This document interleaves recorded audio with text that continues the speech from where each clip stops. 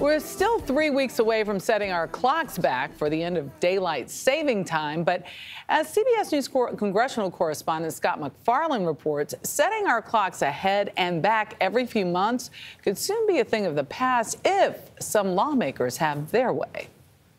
For Jen Schaefer, a high school teacher raising her energetic twin 22 month old daughters, Leela and Willa.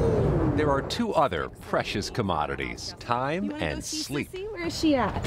When you see daylight saving coming on the calendar, you excited or do you dread it? Oh, I dread it. It's definitely going to throw a curveball at us and it's going to mess us up for the next few days, even a week the twice a year changing of the clock, springing forward for daylight saving time for spring, summer, and early fall, spread in the U.S. during World War I to conserve energy for the war effort. And was stretched even later into November nearly 15 years ago as part of an energy saving bill championed by Michigan Congressman Fred Upton.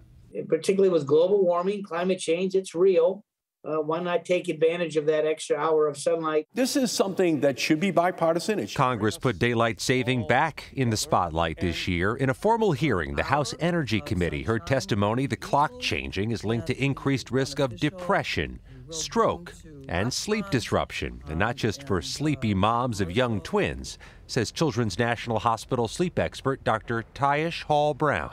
We have an internal kind of rhythm to our, our body and to our health.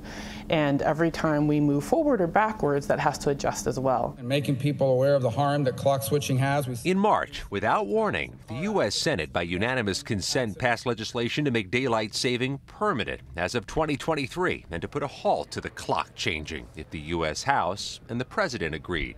But Congressman Upton says the effort will likely come up short in the House, partly because some are concerned in the western section of time zones, permanent daylight saving could make for some very dark late mornings. Those school buses would be running in the dark if we didn't change the clocks. Not only would they be running in the dark, the kids probably would be in second or third hour while it was still dark. Go get her. As for Jen Schaefer, time change or not, rest will always be a little bit more elusive. It's just a huge learning curve.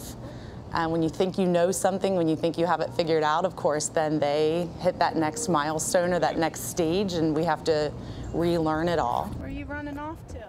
With less than three months remaining in this Congress, supporters of this idea to make daylight saving time permanent are running out of time. For CBS Saturday Morning, I'm Scott MacFarlane at the Capitol.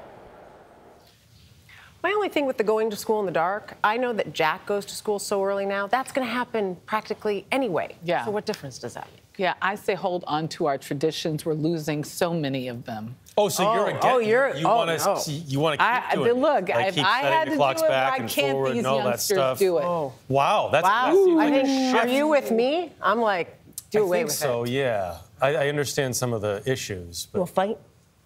Ooh, brawl. Ooh. Yeah. Might happen. You need to you need to like punch across the table and not just like do this thing. Uh, well.